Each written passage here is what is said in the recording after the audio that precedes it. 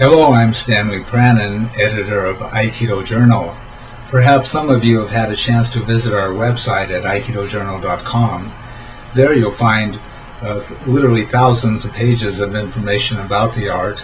Uh, we have a uh, hundreds and hundreds of articles, uh, the Encyclopedia of Aikido, uh, daily blogs, uh, school listings, events, etc.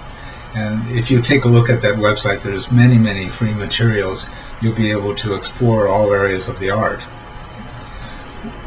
Today, what I would like to talk to you about is one of our newest products. This is a book entitled Aikido Pioneers Pre-War Era.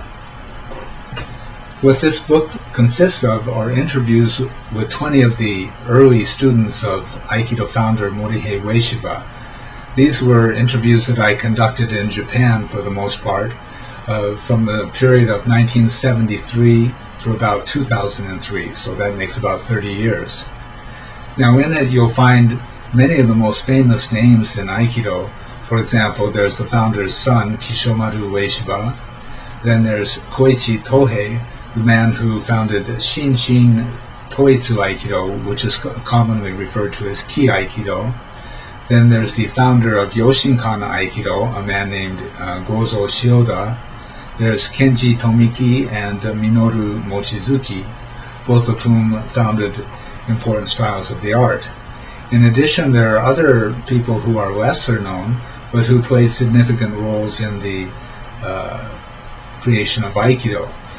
One person of particular interest is the founder's son, a man named Noriaki Inoue, who's almost unknown in the Aikido world, but he played a very important role in the early years and uh, assisted the founder in many uh, areas, both uh, teaching and traveling.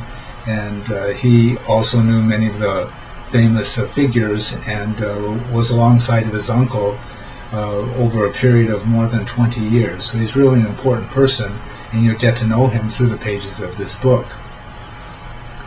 You'll also uh, find uh, a great deal of information about the founder's life from his boyhood all the way through 1942, by which time World War II was having a, a terrible effect on Japan. In fact, uh, Morihei was forced to leave uh, Tokyo and uh, take refuge in his country home up in Iwama. You'll also find uh, mentioned in this book uh, on numerous occasions the uh, disseminator of Daitoryu Aiki Jujutsu, a man named Sokaku Takeda.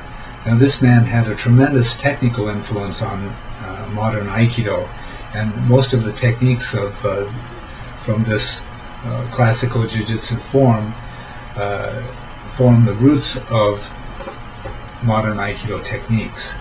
Then there's also the famous religious figure Onisaburo Deguchi from the Omoto sect.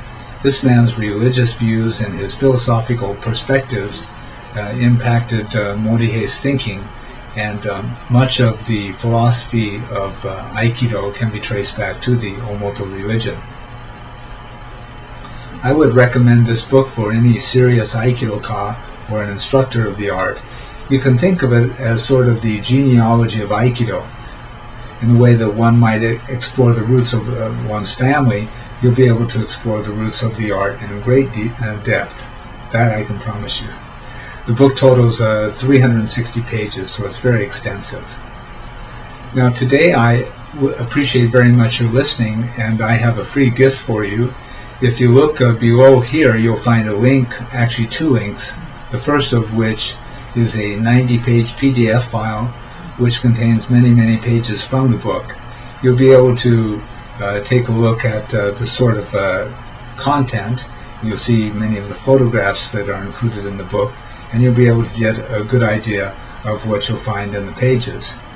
The other link is uh, will take you to the Aikido Journal store, where hopefully you'll uh, look at more information about Aikido Pioneers pre-war era and consider purchasing a copy for your home library.